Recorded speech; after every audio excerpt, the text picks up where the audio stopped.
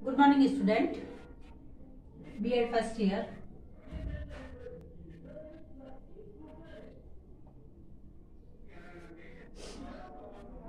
subject है pedagogy of social science इसमें आज का हमारा टॉपिक है नगरीकरण का स्वरूप. आज का प्रकरण है नगरीकरण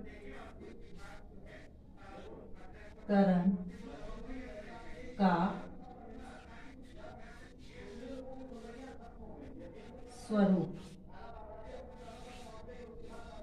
यानी वर्तमान समय में जो नगरीकरण हो रहा है या शहरीकरण हो रहा है, उसका स्वरूप क्या है और किस प्रकार से हमारा जो मानव जीवन है वो प्रभावित हो रहा है या इसकी क्या विशेषताएँ हैं उसके बारे में आज हम अध्ययन करेंगे।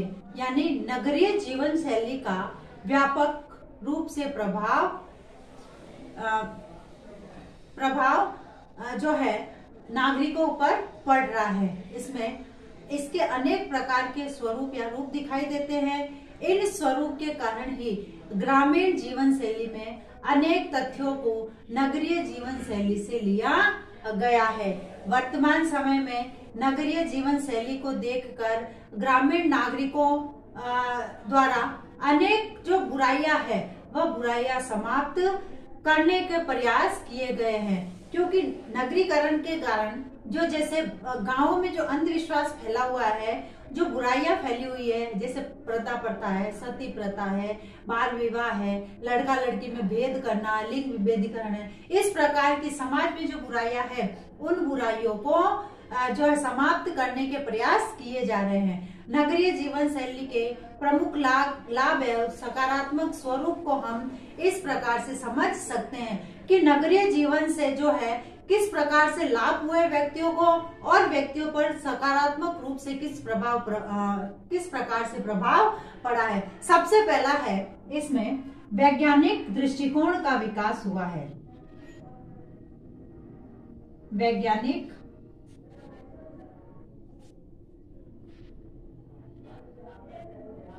दृष्टि कौन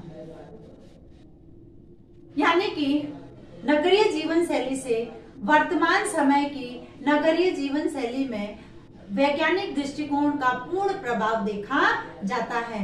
यानी जैसे शहरी जीवन में जो है, जैसे भूत प्रेत है, अंधविश्वास है, रूढ़िवादिता है, जादू टोने हैं, इनको व्यक्ति कम मानते हैं तथा अपने जीवन में जैसे वैज्ञानिक रीतियों का प्रयोग करते हैं। वैज्ञानिक रीतियों से, इन द सेंस कि जब कोई व्यक्ति बीमार होता है तो वह किसी मंदिर में न ले जाकर पोपे के पास न ले जाकर उनको चिकित्सा चिकित्सा सुविधा के लिए या डॉक्टरी सलाह के लिए उनको हॉस्पिटल ले जाते हैं। तो इस प्रकार से वर्तमान समय में नगरीकरण के द्वारा जो नागरिकों की जो सोच विकसित हुई है, वह वैज्ञानिक, उनमें जो है वैज्ञानिक दृष्टिकोण का विकास हुआ है।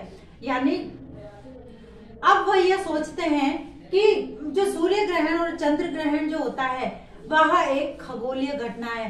न कि देवीय घटना है। न कि किसी और का प्रभाव है, बल्कि यह एक खगोलीय घटना मानी गई है। तो इस प्रकार से नगरीकरण के कारण जो है व्यक्तियों का जो जो विकास हो रहा है, जो दृष्टिकोण हो रहा है, वो वैज्ञानिक दृष्टिकोण हो रहा है। फिर है दूसरा जो है उच्च शिक्षा की व्यवस्था।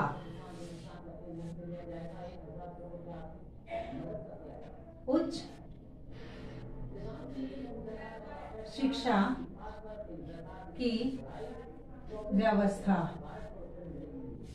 अब जो है, नगरीकरण के कारण शहरी जीवन में उच्च शिक्षा के प्रति लगाव देखा जाता है।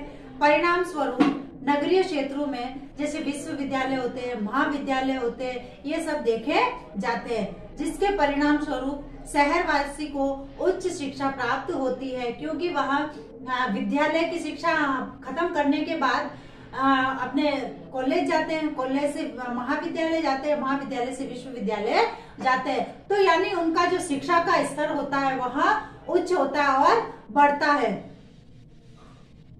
शहरी जीवन में उच्च शिक्षा प्राप्त करने के लिए जो है, सभी व्यक्ति उत्सुक रहते हैं। इसलिए जिससे इन महाविद्यालयों में छात्रों की संख्या अधिक होती है और वर्तमान समय में इसी स्थिति को देखते हुए गाँवों से लोग भी शहरों में जो है पढ़ने के लिए आते हैं। तो यानी नगरीकरण के, नगरीकरण से यह लाभ हुआ है कि उच्च शिक्षा की व्यवस्था हुई है और जो है व्यक्ति जो है शिक्षा प्राप्त करने के लिए कहीं भी पहुँच जाता है। फिर है रोज़गार के अवसर।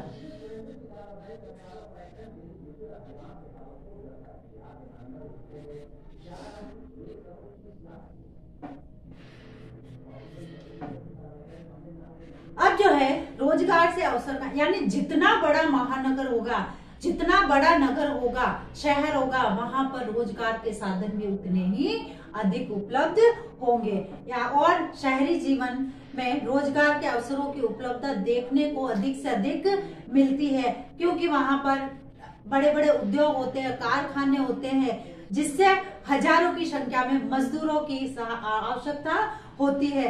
इसलिए ग्रामीण क्षेत्र से व्यक्ति भी रोज़गार प्राप्त करने के लिए शहर आता है और जिस कारण अनेक प्रकार के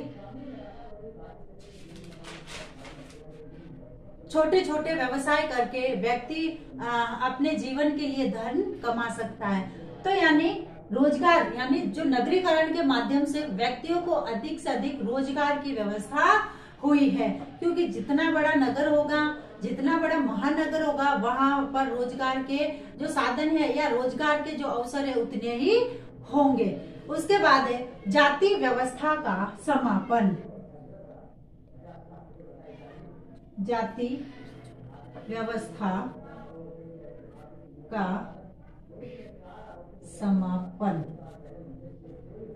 अब जो है, नगरीकरण के कारण जो है जाति व्यवस्था पर अधिक ध्यान नहीं दिया जाता है। क्योंकि लोग अपने कामों में इतने व्यस्त रहते हैं कि उनको किसी की जाति पूछने का टाइम ही नहीं मिलता है।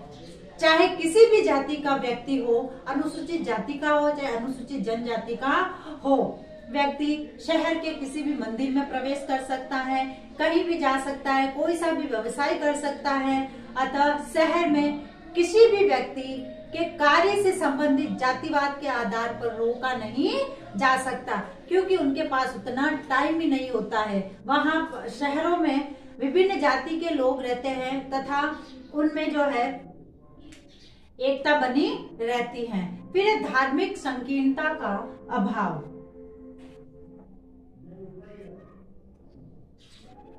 धार्मिक संकीर्णता का अभाव।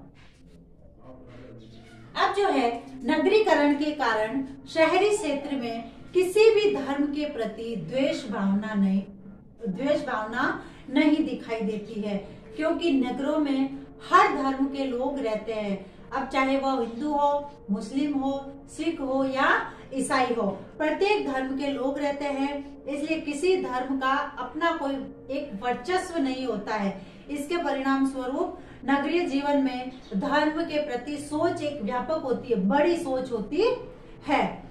वह, वहाँ धर्म के प्रति मूल भाव मानवता एवं नैतिकता का की खोज की जाती है। यानी धर्म का, वहाँ पर यह अर्थ होता है कि मानवता और नैतिकता से संबंधित जो मूल्य है, उनको देखा जाता है। न कि धर्म के आधार पर व्यक्ति को तोला जाता है और न ही उनको टॉर्चर किया जाता है। धर्म के प्रति रूढ़िवादी व अंधविश्वास को स्वीकार नहीं किया जा सक, किया जाता है। यानी चाहे कोई सा भी धर्म हो, उस धर्म के प्रति ना रूढ़िवादिता स्वीकार की जाती है और न ही उनसे जुड़े जो अंधविश्वास है, उन अंधविश्वासों को देखा जाता है। बल्कि नगरीकरण से या शहरीकरण से धार्मिक जो संकीर्णता है, उसका अभाव पाया जाता है। यानी जो छोटी सोच के जो व्यक्ति है, वह नहीं होते हैं। फिर है, अनेकता में एकता की स्थिति। नेक्स्ट जो पॉइंट है अपना, अनेकता में एकता की स्थिति। यानी शहरी जीवन में अनेकता की स्थिति में एकता की स्थिति पाई जाती है, क्योंकि विभिन्न जाति, धर्म, संस्कृति खान पान वेशभूषा तथा क्षेत्रीयता से संबंधित जो है लोग पाए जाते हैं। कोई कहीं से आकर रहता है, कोई कहीं से आकर रहता है, कोई किसी संस्कृति का होता है। तो इस प्रकार से इनमें जो है एकता की स्थिति पाई जाती है। अनेक स्थानों से आए हुए व्यक्तियों का जैसे रहन सहन है, रीति रिवाज है, खान पान है, धार्मिक भावनाएँ है, सबकी अपनी अलग अलग होती है। इसलिए नगरीय जीवन में भिन्न प्रकार की संस्कृतियाँ होती है और इन्हीं संस्कृतियों के परिणाम स्वरूप नगरीय जीवन विविध संस्कृतियों का जीवन कहा जाता है। इसके पश्चात किसी प्रकार के टकराव की कोई स्थिति नहीं रहती है, क्योंकि प्रत्येक व्यक्ति कुछ न कुछ पृथक संस्कृति है सभ्यता से सीखना चाहता है और वह सीखता भी है। तो इस प्रकार से इन विभिन्नताओं के होते हुए भी जो है अनेकता की विभिन्नताओं के होते हुए भी इनमें जो एकता की स्थिति बनी रहती है। तो इस प्रकार से हम कह सकते हैं कि हमारा जो नगरीय जीवन है, इस नगरीय जीवन से जैसे नगरीय जीवन का विकास हुआ है तो उस नगरीय जीवन से कई प्रकार के हमें लाभ हुआ है। नेक्स्ट जो है, इन लाभों को हम अपने नेक्स्ट वीडियो में आगे कंटिन्यू रखेंगे। आज का संदेश है। जैसे कि आप सभी जानते हैं कि कोरोना जैसी महामारी फैल रही है, तथा इससे बचाव हेतु हमें कुछ उपाय करने हैं, जैसे हाथों को सैनिटाइज करना, मुँह पर मास्क लगाना सोशल डिस्टेंस का ध्यान रखना, और भीड़ भाड़ वाली जगह पे नहीं जाना, तथा अनावश्यक रूप से तो घर से बाहर ना निकले। स्वस्थ रहे, सुरक्षित रहे, धन्यवाद।